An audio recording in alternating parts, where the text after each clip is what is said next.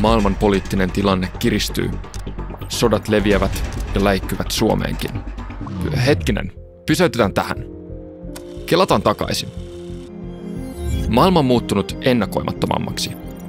Aiemmin kaukaiselta tuntuneet konfliktit eivät nykymaailmassa olekaan enää kaukana.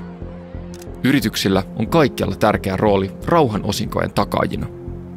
Taloudellinen hyvinvointi nostaa kynnystä ryhtyä aseelliseen väkivaltaan, mutta aina se ei kuitenkaan riitä.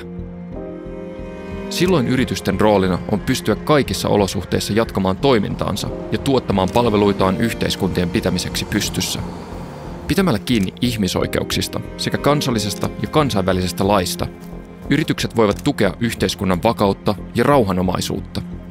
Kehittämällä omaa konfliktivalmiuttaan, yritys voi parantaa kykyään sekä menestyä liiketoiminnassaan että toimia vastuullisesti. Sen takia olemme rakentaneet konfliktivalmiuden. Konfliktivalmius on keino hallita riskejä, varautua ja suojata organisaatioiden toimintaa sekä resursseja, kun ympärillä paukkuu. Selvitä organisaatiosi konfliktivalmius. Tutustu materiaaleihimme ja kehitä organisaatiotasi.